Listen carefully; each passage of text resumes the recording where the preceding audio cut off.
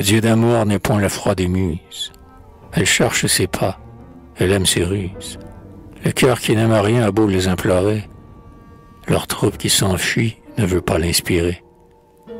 Qu'un amant les invoque et sa voix les attire. C'est ainsi que de jour elle monte ma lyre. Si je chante les dieux ou les héros, soudain, ma langue balbutie se travaille en vain. Si je chante l'amour, ma chanson d'elle-même s'écoule de ma bouche et vole à ce que j'aime.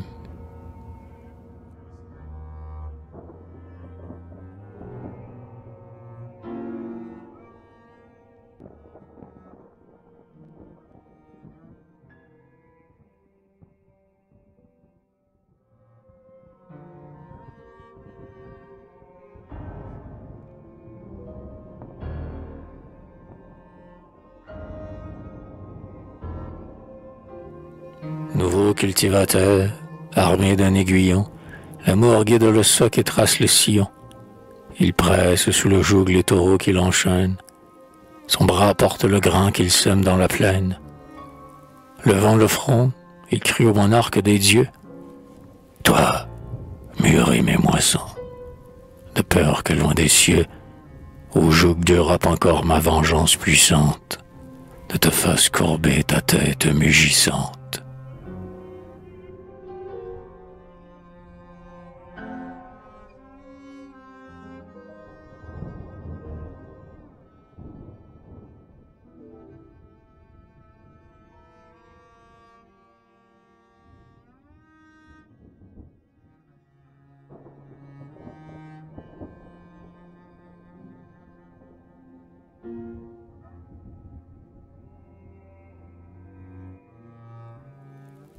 Rien n'est doux que l'amour, aucun bien n'est si cher.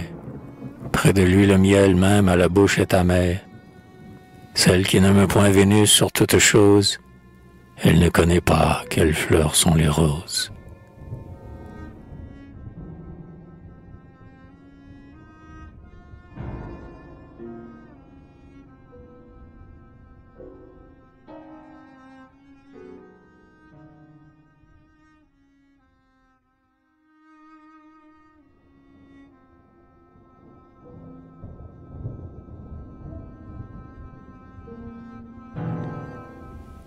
Un faible enfant, qu'elle était grande et belle.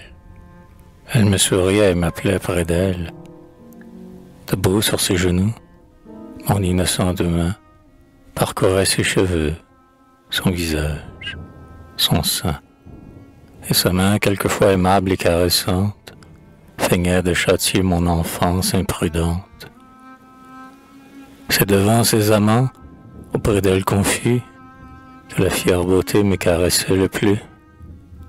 Que de fois, mais hélas, que sent-on à cet âge Les baisers de sa bouche empressaient mon visage? Et les bergers disaient, me voyant triomphant, Oh, que de bien perdu, oh, trop heureux enfant.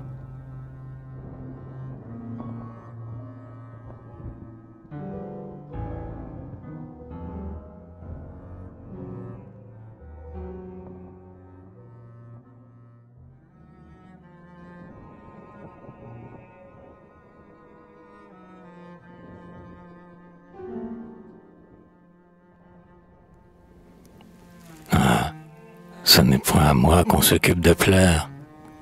Ma sœur plutôt que moi dit le jour à ma mère.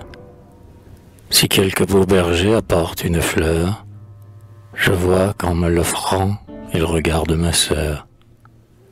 S'il vante les attraits dont brille mon visage, ils disent à ma sœur, c'est ta vivante image.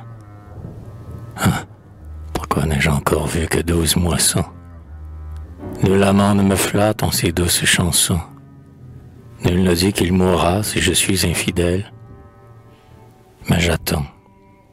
L'âge vient. Je sais que je suis belle. Je sais qu'on ne voit point d'attrait plus désiré qu'un visage arrondi, de longs cheveux dorés. Dans une bouche étroite, un double rang d'ivoire, et sur de beaux yeux bleus, une paupière noire.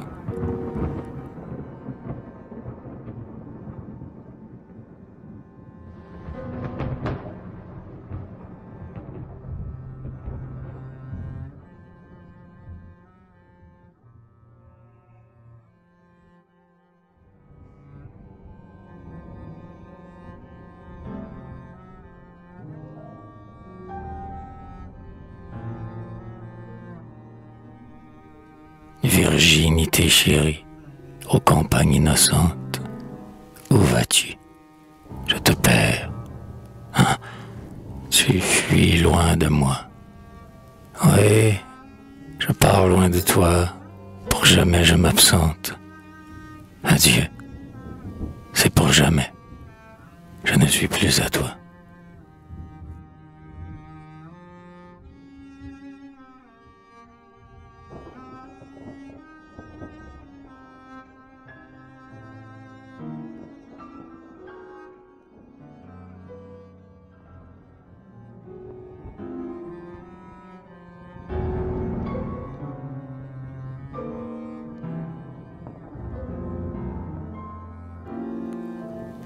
Regarde point, cache, cache tes yeux. Mon sang est brûlé, tes regards sont des feux. Viens, viens. Quoique vivant, et dans ta fleur première, je veux avec mes mains te fermer la paupière. Oh, malgré tes efforts, je prendrai tes cheveux pour en faire un bandeau qui te cache les yeux.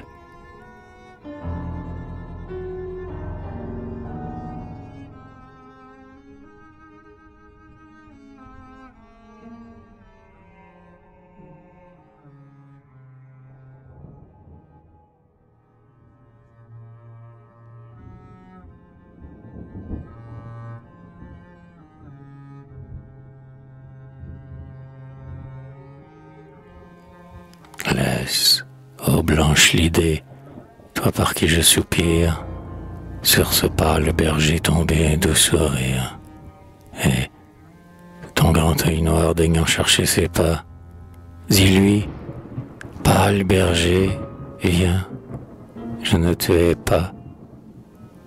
Pâle berger aux yeux mourants, à la voix tendre, cesse à mes doux baisers enfin de prétendre, non, berger, je n'ai plus, je n'en ai point pour toi. Ils sont tous à Maurice, ils ne sont plus à moi.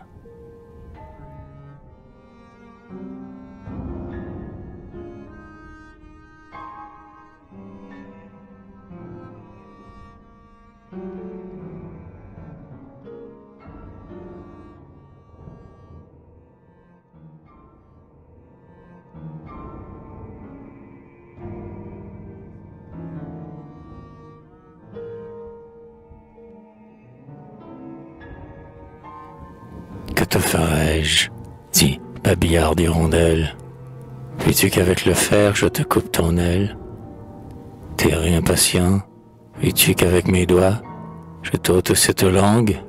Et l'importune voix qui vient, dès le matin, du sommeil ennemi, à mes songes heureux enlevés, mon ami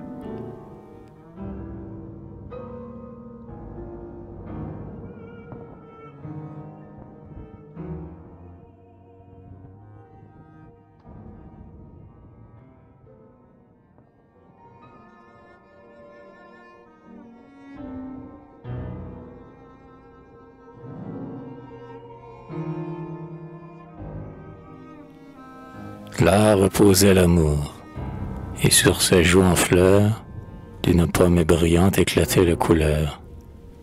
Je vis, dès que j'entrai sous cet épais bocage, son arc et son carquois suspendus au feuillage. Sur des monceaux de roses, au calice embaumé, il dormait. Un souris sur sa bouche formée l'entr'ouvrait mollement, et des jeunes abeilles, venait cueillir le miel de ses lèvres vermeilles.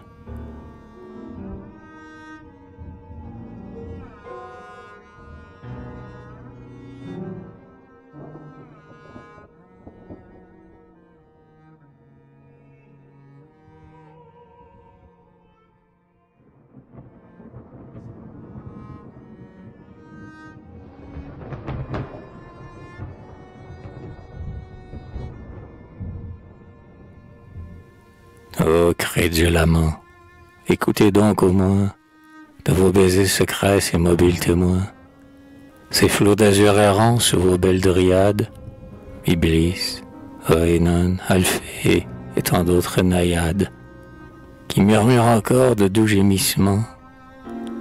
Tous furent autrefois de crédules amants qui se fondant en pleurs, échangés en fontaines, par la pitié des dieux, serpentent dans vos plaines.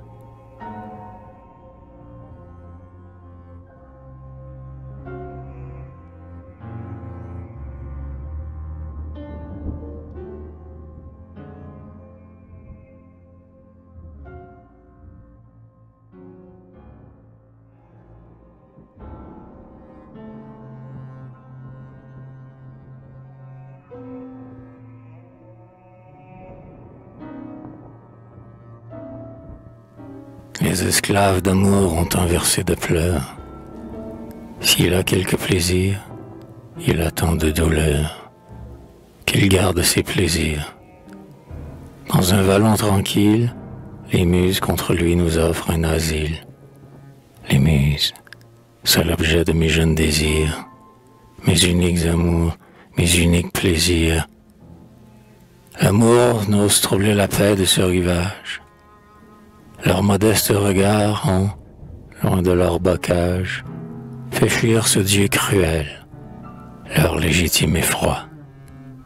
Chaste muse, veillez, veillez toujours sur moi.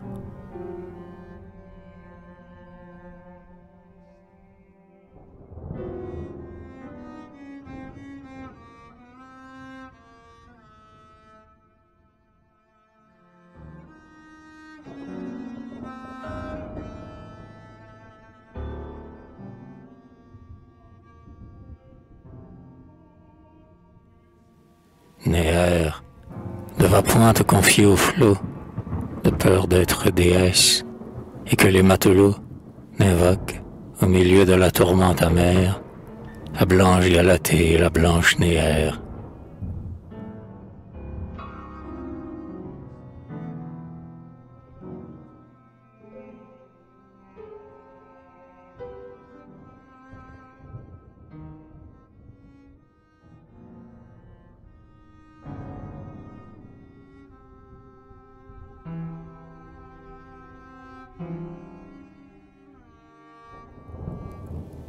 De Pandion, ô jeune Athénienne, la cigale est ta proie, hirondelle inhumaine, et nourrit tes petits qui, débiles encore, nus, tremblants, dans les airs n'osent prendre l'essor. Tu voles, comme toi la cigale a des ailes. Tu chantes, elle chante. À vos chansons fidèles, le moissonneur s'égaye, et l'automne orageux, en des climats lointains, vous chasse toutes deux. Oses-tu donc porter dans ta cruelle joie à ton nid sans pitié cette innocente proie Et faut-il voir périr un chanteur sans appui, sous la morsure, hélas, d'un chanteur comme lui?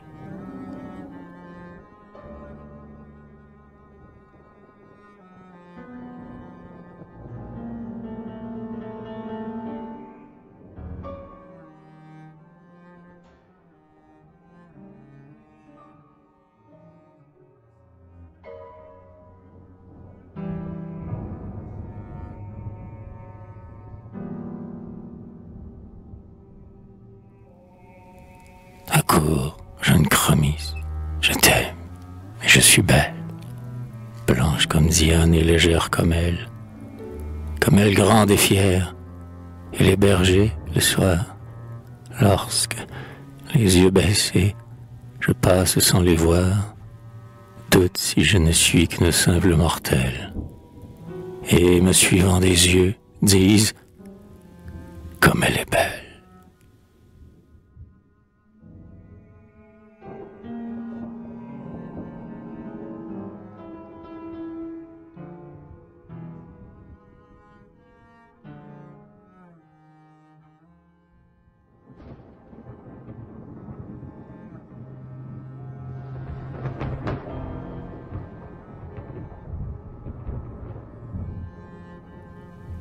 Berger, vous dont ici la chèvre vagabonde, la brebis se traînant sous sa laine féconde, au dos de la colline accompagne les pas.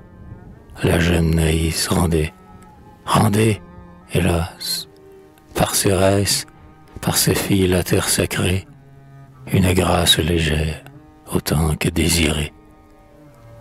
Ah, près de vous, jadis, elle avait son berceau, et sa vingtième année à trouver le tombeau. Que vos aigneaux du moins viennent près de ma cendre, me bêler les accents de leur voix douce et tendre, et pas être au pied d'un roc ou d'un son enchanteur. La flûte parlera sous les doigts du pasteur. Qu'au retour du printemps, dépouillant la prairie, des dons du villageois ma tombe soit fleurie. Puis d'une brebis mère et docile à sa main, en un vase d'argile y pressera le sein, et sera chaque jour d'un lait pur arrosé, la pierre en ce tombeau sur mes manes posées. Morts et vivants, il est encore pour nous unir un commerce d'amour et de doux souvenirs.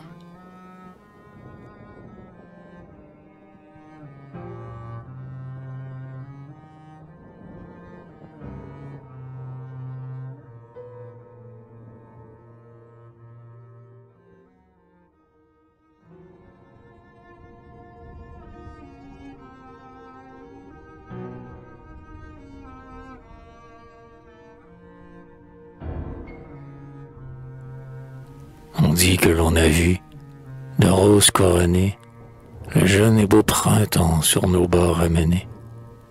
C'est aux autres amants dont l'amant est fidèle de chanter les douceurs de la saison nouvelle. Testilis m'abandonne, elle a trahi sa foi.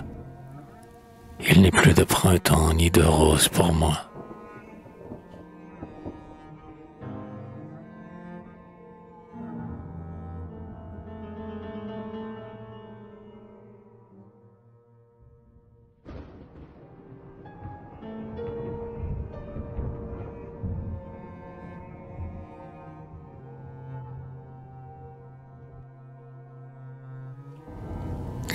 Sous ses frimas tient la terre enchaînée.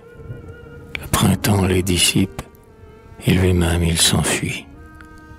L'été vient, il s'écoule et Pomone le suit. Et bientôt Frima il ramène l'année.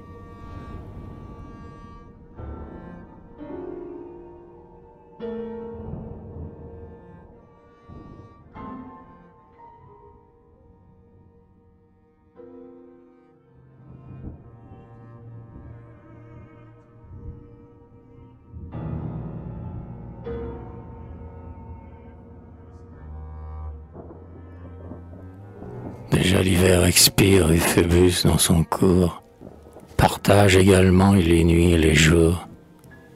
Nos champs verront bientôt revenir l'hirondelle que j'aime à contempler. Ces arbres nus encore, des nouveaux feux dorés, et des toits alentour les fêtes colorées. Et là, cet humble toit que des chaumes composent, deux pigeons au soleil, ensemble s'y reposent. Leurs yeux et leurs baisers s'unissent mollement. Leur plumage s'agite et frémit doucement. Hélas, je sens couler dans mon âme inquiète une mélancolie profonde et muette. Quelque chose me manque et je ne sais qu'elle veut. Ah, faut-il être seul et témoin de leur jeu?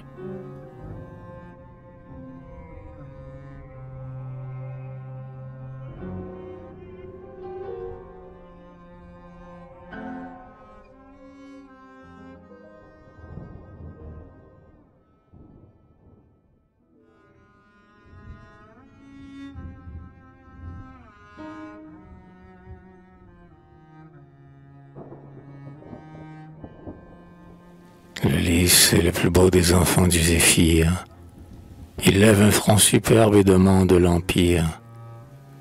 Les suaves esprits dans sa coupe formée, l'air, les eaux, le bocage, au loin sont embaumés. Sous l'herbe, loin des yeux, plus aimable et moins belle, la violette fuit. Son parfum la révèle, avertit qu'elle est là, que, voulant se cacher, Là, Pour le sein qu'on aime, il faut l'aller chercher.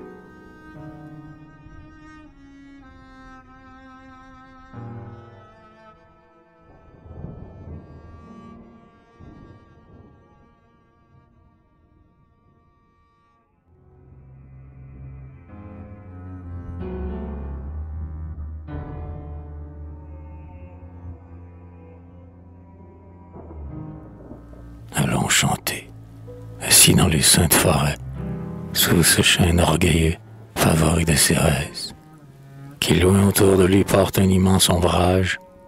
Tu vois, tout côté pendant son feuillage, couronnes et bandeaux et bouquets entassés, doux monuments des vœux par Cérès exaucés.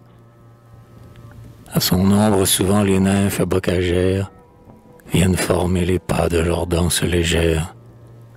Pour mesurer ses flancs et leurs vastes contours, leurs mains s'entrelacent en serpent alentour.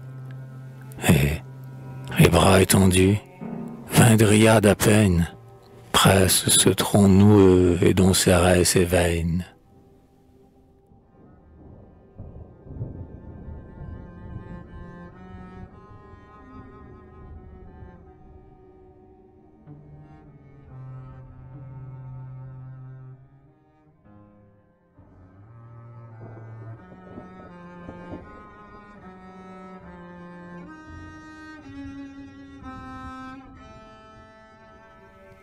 Toi, Tomopsus, ami, non loin de Bérésinthe, certains satyres, un jour, trouva la flûte sainte, dont Iagnis calmait au rang des furieux le cortège énervé de la mère des dieux.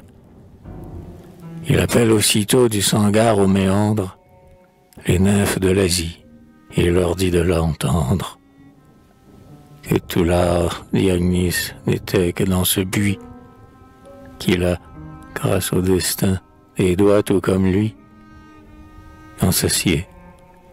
Et voilà qui se travaille ici, souffle, agite ses doigts, tord sa lèvre touffue, enfle sa joue épaisse, et fait tant qu'à la fin, le buis résonne et pousse un cri rauque et chagrin.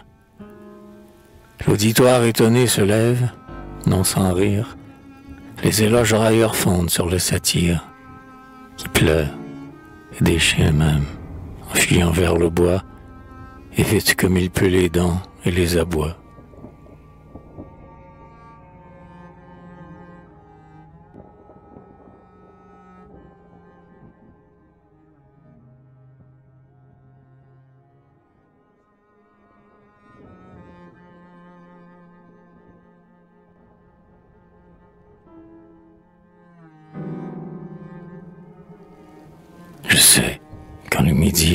Désirer l'ombre, entrer à pas muet sous le roc frais et sombre, d'où, parmi le cresson et l'humide gravier, la naïade se fraye un oblique sentier. Là, j'épie à loisir la nymphe blanche et nue, sur mes bancs de gazon mollement étendus, qui dort, et sur sa main, au murmure des eaux, laisse tomber son front couronné de roseaux.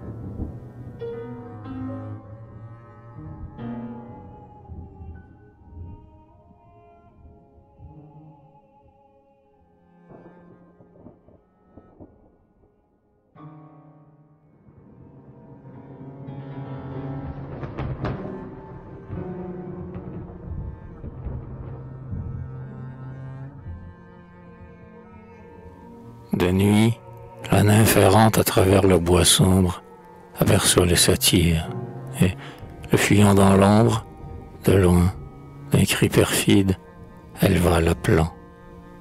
Le pied de chèvre court, sur sa trace volant, et dans une eau stagnante, à ses pas opposés,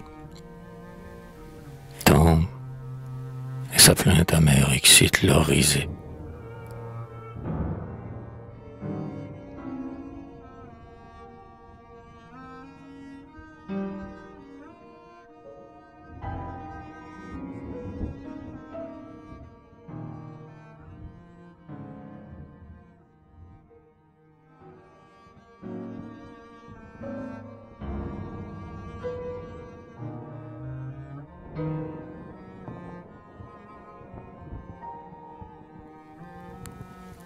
Pur et fier hippo que la chèvre désire, baisse le front, se dresse et cherche le satyre. Le satyre, averti de cette inimitié, affermi sur le sol la corne de son pied, et leur oblique front, lancés tous deux ensemble, sous choc. L'air frémit, le bois s'agite et tremble.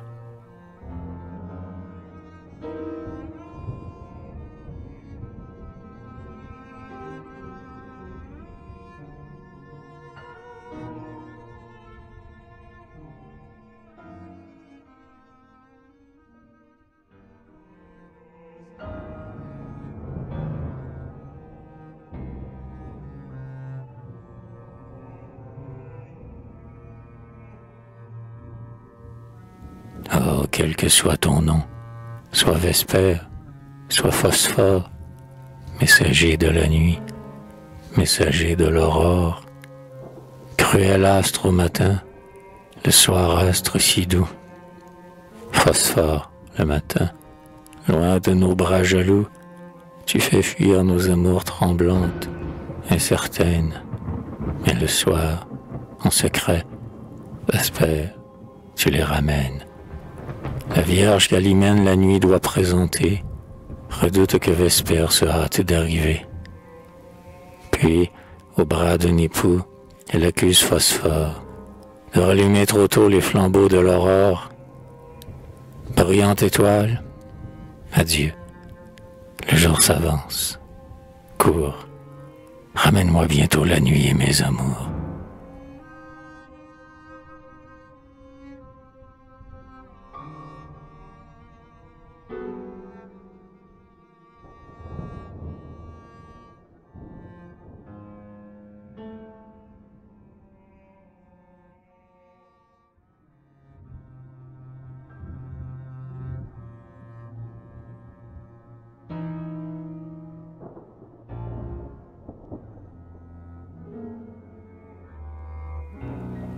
Apollon et Bacchus, un crin noir et sauvage, n'ahérissez jamais votre jeune visage. Apollon et Bacchus, vous seuls entre les dieux, d'un éternel printemps vous êtes radieux. Sous le tranchant du fer, vos chevelures blondes n'ont jamais vu tomber leurs tresses vagabondes.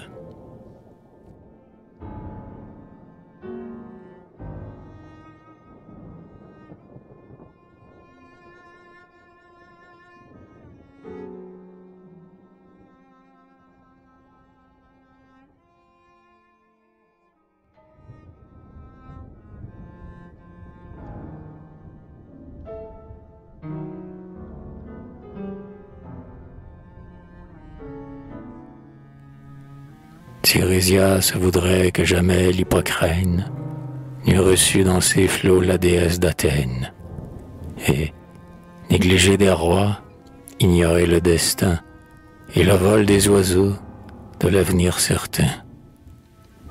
Il paye cher de voir cette vierge invincible dépouiller le casque et la gorgone horrible. Ce sein, ces flancs sacrés inconnus même aux dieux, sont les derniers objets que purent voir ses yeux. Quoique cher à Pallas, les plaintes de sa mère essayèrent en vain de rouvrir sa paupière.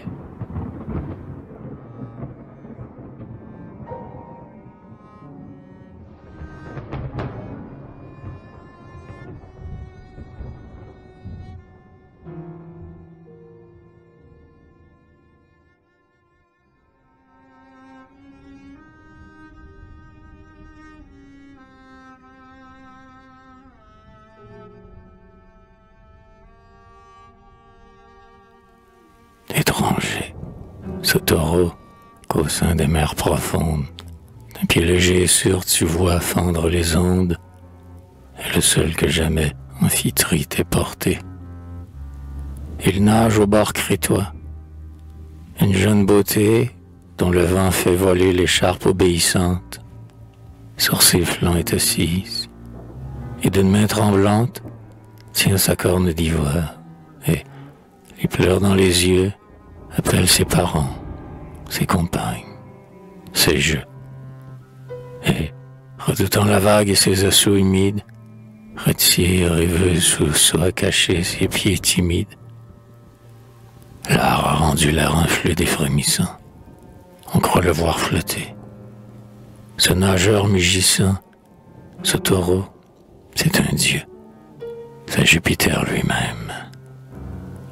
Dans ses traits déguisés du monarque suprême, tu reconnais encore et la foudre et les traits. Sidon l'a vu descendre au bord de ses guérets, sous ce front emprunté couvrant ses artifices, brillant objet des vœux de toutes les génisses. La Vierge syrienne, Europe, son amour, imprudente, le flatte. Il la flatte à son tour. Et, se fiant à lui, la belle désirée, ose asseoir sur son flanc cette charge adorée. Il s'est lancé dans l'onde, et le divin nageur, le taureau, roi des dieux, l'humide ravisseur, a déjà passé Chypre et rives fertiles. Il s'approche de Crète et va voir les cent villes.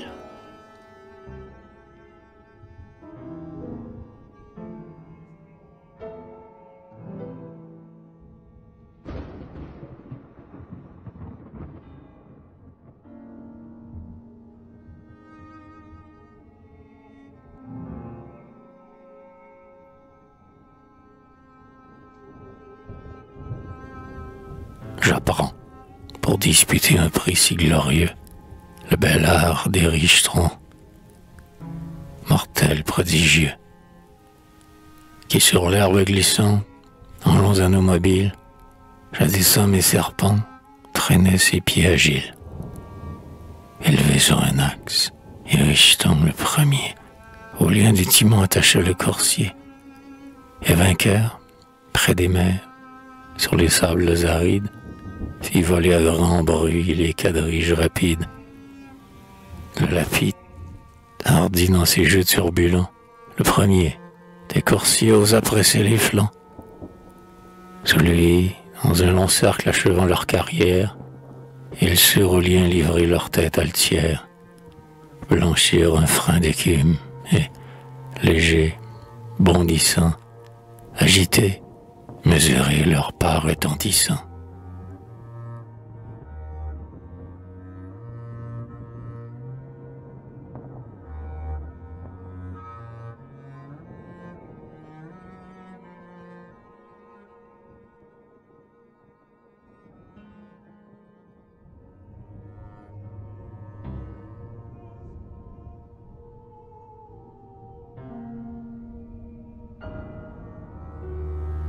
J'étais père et je meurs victime du naufrage. Adieu ma femme, adieu mes chers enfants. Ô toi, notonnier, de retour, si tu tiens le rivage, reste avec tes enfants. Sois plus sage que moi.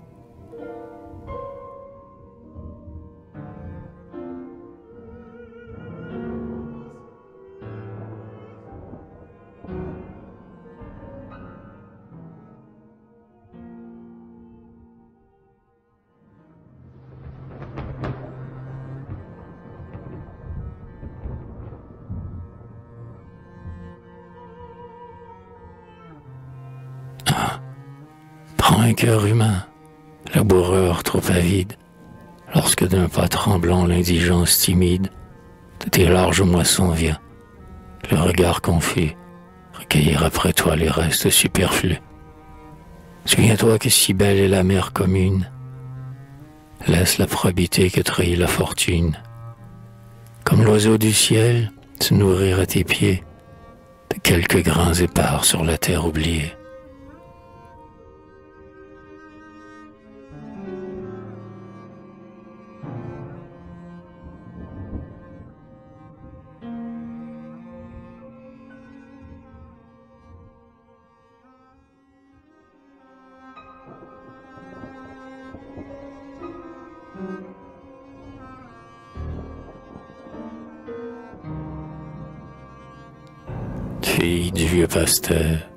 Qui d'une main agile, le soir rempli de lait, trente vases d'argile, craint la génisse pourpre, au farouche regard, qui marche toujours seul et qui à l'écart.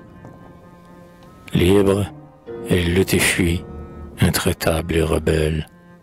Tu ne presseras point sa féconde mamelle, à moins qu'avec adresse un de ses pieds liés, sous un cuir souple et lent, ne demeure plié.